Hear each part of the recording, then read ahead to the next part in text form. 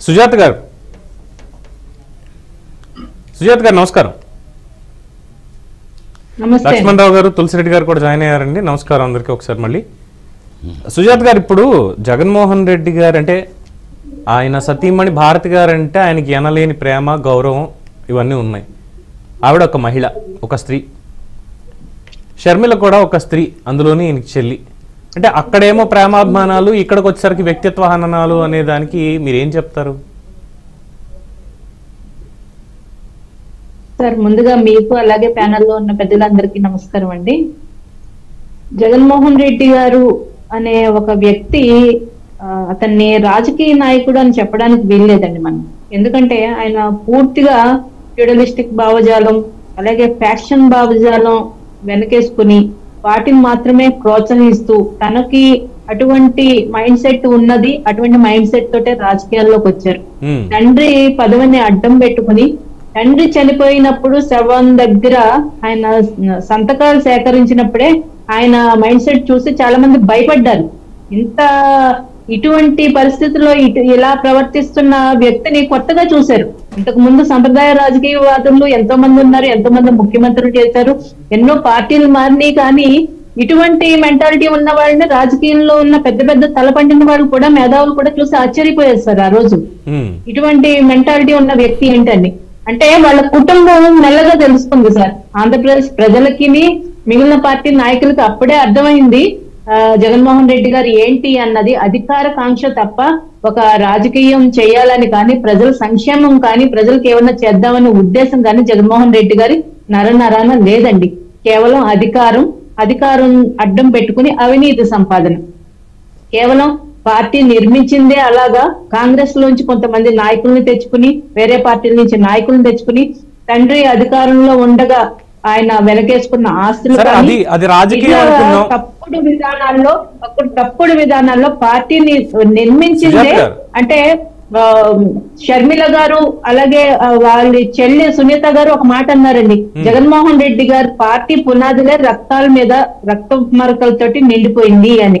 అధికారం కోసం బాబాయ్ హత్య కేసును కూడా ఆయన రెండు వేల పంతొమ్మిదిలో ఆ బాబాయ్ హత్య కేసును కూడా అధికారం కోసం ఉపయోగించుకున్నారు. నారాసుర రక్త చరిత్ర అని చెప్పి చంద్రబాబు నాయుడు గారి మీద నెట్టేయడానికి ట్రై చేశారు. Hmm. దాని తర్వాత కాలంలో దాని మూలాలు ఎటువైపు చూపిస్తున్నాయి? సిబిఐ దర్యాప్తుని ఎవరు ఆపారు? ఎటువైపు వేళ్ళన్ని చూపిస్తున్నాయి అన్నది చూసాం.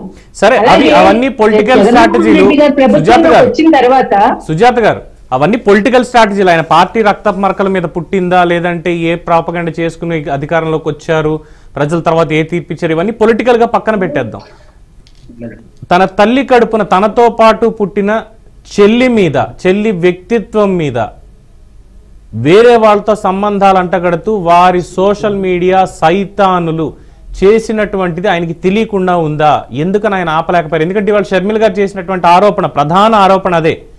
ఆ రోజు చేయించింది వేరే వాళ్ళు ఎవరో కాదు చేయించింది కూడా జగన్మోహన్ రెడ్డి సైతాన్ టీమే అని ఆవిడ అన్నారు.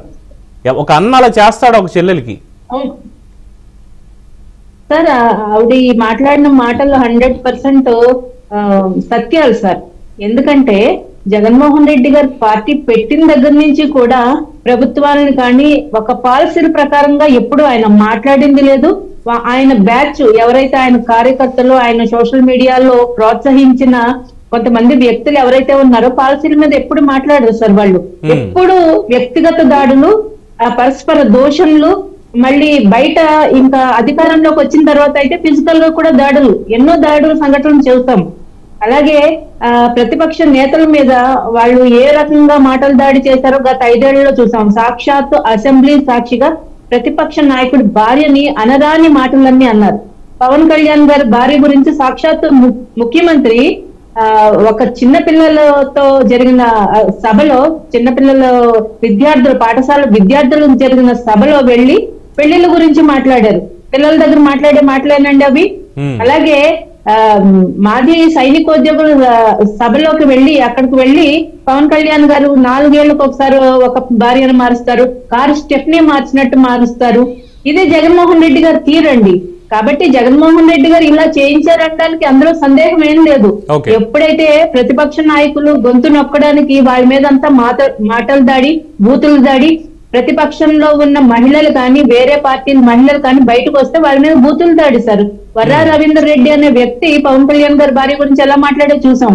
ఓసారి కృష్ణమురళి ఎలా మాట్లాడాడో చూసాం. ఎంతో మంది సార్ శ్రీరెడ్డి అనే వ్యక్తిని ఎలా ప్రోత్సహించారో చూసాం. బోరుగడ్డ అనిల్ అనే వ్యక్తి తన సొంత పార్టీ ఎమ్మెల్యేని జీపు కట్టుకుని లాక్కెళ్తా అన్నాడు సార్. ఇవన్నీ ఆయన పెంచి ప్రోత్సహించినవే. చెల్లి తన భుజాల మీద ఒక ఆడపిల్ల అయ్యుండి జగన్మోహన్ రెడ్డి గారు జైల్లో ఉంటే పార్టీని అంతా తన భుజాల మీద వేసి పాదయాత్ర చేసింది సార్ ఆడపిల్ల ఒంటరి ఆడపిల్ల పాదయాత్ర చేసింది. తను ఎంత నెత్తి మీద పెట్టుకుని పూజించాలంటే చెల్లిని? కష్టకాలంలో ఎవరు ఆదుకున్నారు? కనీసం ఆ- అభిమానం కూడా చెల్లి మీద లేదండి. అవన్నీ కూడా వదిలేయండి. నాకు పని చేయాలనుకున్నావు చేసావు కాదు కాదు. నాకు పని చేయాలనుకున్నావు చేసావు నీకు స్వార్థంతో చేసావా లేదా అనేది పక్కన పెట్టేస్తే సరే చేయాల్సింది ఏదో చేసావు అయిపోయింది. దానికి ఇస్తే ఏదైనా పదవి ఇవ్వాలి లేదు నేను పదవులే ఇవ్వలేదు. నువ్వు స్వార్థంతో చేసావని నేను అనుకోలేదు. ఏదో నా కోసం చేసావా అన్నయ్య అనుకుని చేసావు అనుకున్నాను అన్న మాటకు వచ్చినా కూడా పర్వాలేదు. ఎలాగో విభేదాలు బయటపడిపోయాయి కాబట్టి ఇంక ఇందులో దాగుడు మూతలు ఏం లేవు. కానీ ఎంత లేదు కాదు అనుకున్నా కూడా ఒక మహిళ వ్యక్తిత్వం మీద దాడి చేయడం అనేది ఎంతవరకు సమంజసం అసలు? సార్ షర్మిల గారు కావాలనుకుంటే ఒక మినిస్టర్ తీసుకుని ఉండొచ్చు లేదంటే ఒక ఎంపీ పదవి తీసుకుని ఉండొచ్చు కానీ ఆవిడ ఏ రోజు అడగలేదే. తన పార్టీ తన సొంత అన్న పార్టీ తనదే అన్నట్టు ఆవిడ మీద భుజాల మీద వేసుకొని గెలిపించారు. గెలిచిన తర్వాత ఈ రోజు షర్మిల గారు ఆస్తి వివాదాల్లో బయటకు వెళ్ళిన తర్వాత అది కూడా షర్మిల గారు సొంతంగా చెప్పడం జరిగింది. తనని మెడ పట్టుకుని జగన్మోహన్ రెడ్డి గారు కొట్టడానికి ప్రయత్నించారని. తను బయటకు వెళ్ళిన తర్వాత తన క్యాస్ట్ గురించి అంటే ఆయన ఎవరైతే పెళ్ళి చేసుకున్నారో ఆ భర్త క్యాస్ట్ తీసుకుని వచ్చి షర్మిల గారి క్యారెక్టర్ మీద కూడా అసాసినేషన్ చేశారు సార్.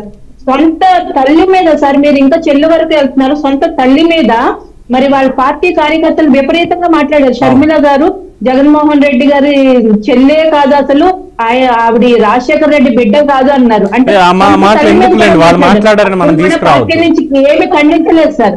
పార్టీ నుంచి ఏ రోజు ఖండించలేదు. అంటే అది ఎంకరేజ్ చేసినట్టే కదా. మరి బోరుగడ్డ అనిల్ లాంటి వాళ్ళ మీద మీరు ఎందుకు చర్యలు తీసుకోలేదండి? అసలు సోషల్ మీడియాలో రెచ్చిపోయిన సైకోల మీద ఎందుకు మీరు ప్రోత్సహించారు? ఒక్క నిమిషం ఒక్క నిమిషం. సుజాత గారు వీటికి సమాధానాలు తెలుసుకోవాలి. ముందుగా పెద్దలు తులసిరెడ్డి గారికి ప్రశ్న ఏంటంటే అంటే